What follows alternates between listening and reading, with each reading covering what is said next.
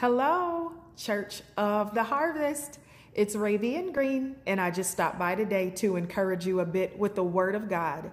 1 John 4 and 4 says, Greater is He who is in you than He who is in the world.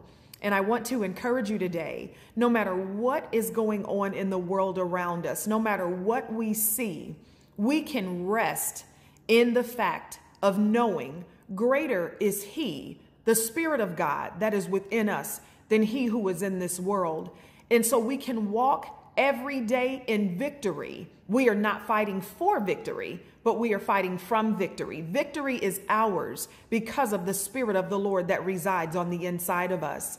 So I hope you take up the armor of God today, and I hope that you would walk from a place of knowing that you are victorious because the Spirit that resides in you is greater than the spirit that is in this world. You guys take care. Talk to you soon.